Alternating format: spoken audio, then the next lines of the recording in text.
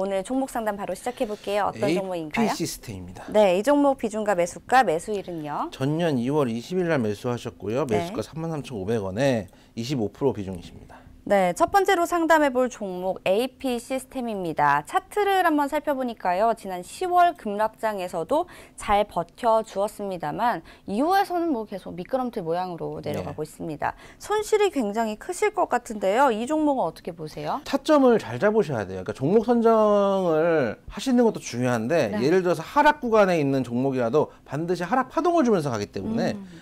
어, 하락을 하더라도 먹을 자리가 나올 때도 있어요. 근데 지금 들어가신 자리가 양봉 양봉 터질 때 자- 들어가신 거거든요. 8% 정도 상승했던 날인데 음. 고가에 10% 상승을 한 날이에요. 이게 네. 돌파 매매라고 이제 하셔서 들어가신 것 같은데 어, 돌파 매매를 많이 하세요. 왜 그런지 모르겠는데 다들 뭐 자주 드리는 말씀인데 양봉만 보면은 흥분을 하세요. 그럼 차라리 이렇게 말씀을 드릴게요. 굳이 하실 거면은 음. 지금 제약 섹터가 조금 힘이 빠져 있고 대북주가 좀 힘이 있잖아요. 오늘은 조금 조정을 주는 구간이지만은 만약에 돌파 매매를 둘 중에 하나를 해야 된다면은 경협주를 하시는 게 맞아요. 어. 꼭 하셔야 될 거면은. 네. 그러니까 추세적 하락이 있는 아이들의 돌파 매매는 진짜 위험한 매매예요. 굳이 하시겠다면 둘 중에 섹터가 센 애를 가시는 게 맞아요. 지금 흐름대로. 그쵸. 네. AP 시스템 보면은 추세적으로 어마어마하게 하락을 했어요. 일단은 최근에 이제 바닥을 잡았어요. 전년 4분기하고 올해 상반기까지는 실적이 안 좋을 것이다. 어. 이렇게 해서 부정적인 레포트들이 나오길래 네. 관심을 가져야 될 때 됐구나.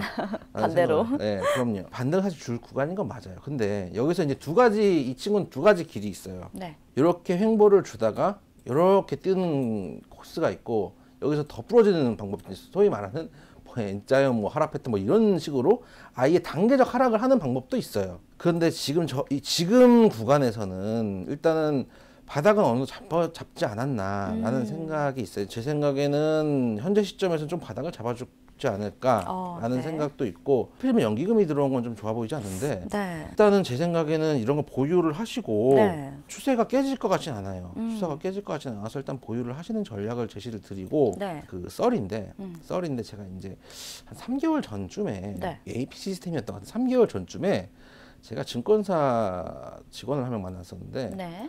AP 시스템이었던 것 같아요. AP 시스템 얘기를 하더라고요. 뭐라고 하던가요?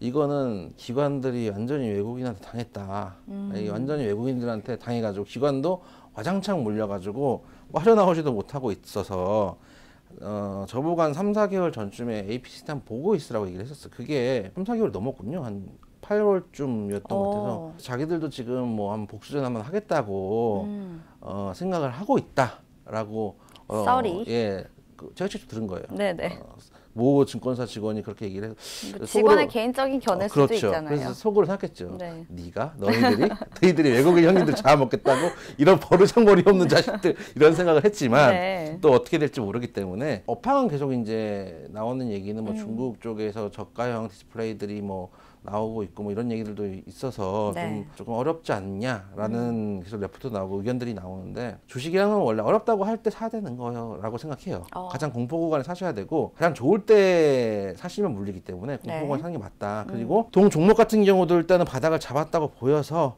현재 시점 보유를 하시고 만에 하나 좀 짧게 잡을게요. 2만 천, 2만 2천 원 정도, 22,000원. 2만 2천 원 정도까지도 깨지면 2만 2천 원의 일부 비중 축소, 2만 천 원에서 2만 원대까지 깨지면 전량 매도 정도로 해서 어. 대응을 하세, 하시는 게 좋을 것 같아요. 왜냐하면 어쨌든 바닥 잡아주고 있는 종목이기 때문에 현재 시점 일단은 보유를 하셔도 무방한 것으로 판단이 됩니다.